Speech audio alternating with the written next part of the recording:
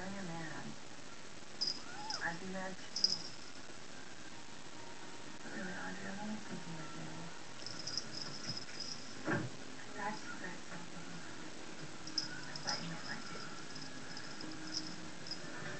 Oh, that's so.